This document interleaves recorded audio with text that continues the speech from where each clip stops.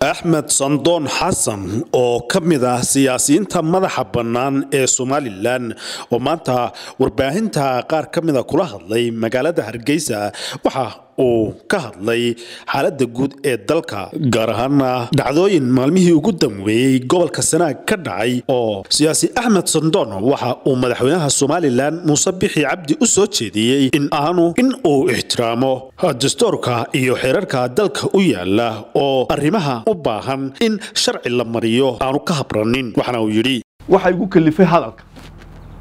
Madaxweyneheyna hadda jooga mudane muuse bixi cabdi oo maalin dhaweyd hadlay wuxuu yidhi hadalkiisii ku jiray.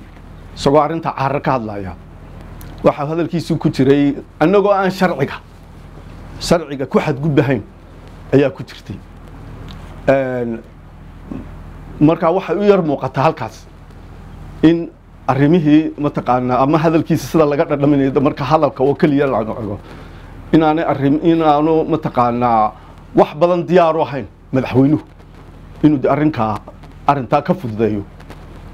Madaxweynaha markaa waxaan u sheegayaa on gocdoon u sheegayaa haddii haddii ilaahay badankeedu leeyahay qodobka boqol iyo soddonaad ee dastuur ee dastuurka qarab qaranka waxaynu jebinay laba kun iyo labadii. Markii uu dhintay allah u naxariistay marxuumkii weynaa ee maxamed xaaji ibraahim cigaal markuu dhintay qodobkaa si toosa ayaynu ayaa dee xukuumaddii meesha joogtay iyo taladii meesha joogtay ilaa dee sheekh ibraahim baa noolaayo waa la jebiyey sababtuna waxay ahayd maslaxadda maslaxadda dadka maslaxaddii qaranka ayaa darteed baa loo jebiyey oo qodobkaasi wuxuu dhigayay madaxweyne la doorto marka la gaadho ayuunbuu madaxweyne ku-xigeenku meesha qabanaya madaxweyne la doortayna markaa muu jirin. Waxaa joogay madaxweyne nacgaal baa joogay allah yarxamu. De madaxweyne la doortay muu ahayne wuxuu ahaa madaxweyne dee lagu soo doortay qaabkii xadqarameedka lagu soo doortay buu ahaa. Marka dastuurka wuxuu dhigayay madaxweyne la doorto unbaa madaxweyne markay geeri ku timaado madaxweynaha ama madaxweyne ku-xigeenka mid ahaan waxaa lagu bedelayaa sidaa. Marka qodobkaa waa la jebiyey oo waxaa loo anigu dadkii fikirkaa in la jebiyo raacsanaa baan ka mid aha waan xasuustaa dhalinyar baan la fadhiyey. Waxaan berri toole markaad suuqa joogtaan arday baad tiino faarax cumar baad tegaysaane dadku waa idinkaga hor imanayaanoo dee geeridaasi waa geeri culus. Nin weyn baa inaga baxay.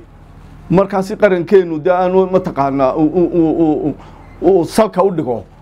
Waxaad dee dadka ku tirahdeen madaxweyne ku-xigeenkii unbaa dee madaxweyne noqonaya madaxweynaha waxaan leeyahay oon ku mataqaanaa ku dhiiri gelinaya arrintu markay maslaxad marayso maslaxad ummadeed markay marayso waxa lagaaga baahan yahay in mataqaanaa aada dhiirato.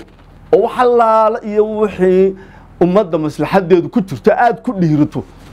Dastuurku waynu jecellahay mana jeclin cid jebisa haddii iminka aada leedahay anigoo ku xadgudbayn iminkaad ku xadgudbitaan iminka ayaa ku xadgudbitaan oo lix xildhibaan ayaa gebila iskaga xidhan oo bilaa sharci ku xidhan. Bilaa sharci ku xidhan.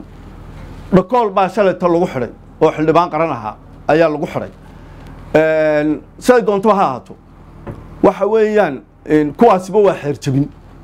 Marka waxa lagaaga baahan yahay arrinkan caare shalay buu qabasho lahaa. Shalay ayuu qabasho lahaa mabaa dee wuxuu ahaa tallaabooyinka aad qaaday dee maba yareene. Kol haddaad guddi ballaadhan oo culimo iyo cid walba aad u saartay. Waxa ahayd halkaa in lagu soo dhammeeyaabay ahayd ama bartaa ay bartaa markay joogtay aada xukunka iyo talada militariya aad sheegaysaan aad wax kaga qabataan ayay ahayd oo may ahayn maanta inay arrinta caara halkaa inala soo gaadho. Markaa waxaan ku gubaabinayaa madaxweynaha iyo xukuumaddiisa iyo la taliyayaashiisaba in ay ku dhiiradaan wixii maslaxaddu ku jirto.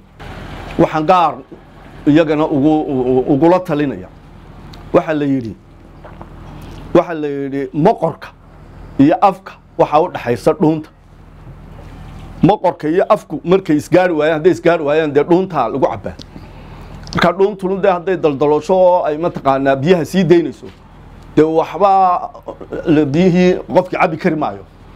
Marka reer cergaabo waxaan leeyahay arrinta caare idinkoo isu qoysa haddaad tihiin reer cergaabo isku qoysa haddaad tihiin arrinta caare waxaad noqotaan dhuuntii u dhaxaysay madaxtooyada iyo iyo iyo iyo waxaan u jeedaa madaxtooyada iyo dee caare intii u dhaxaysay. Halkaa dhuunta gala oo moqorkaa iyo afka dhuuntaa u dhaxayse ha ku halaynina walaa hargeysa walaa reer burco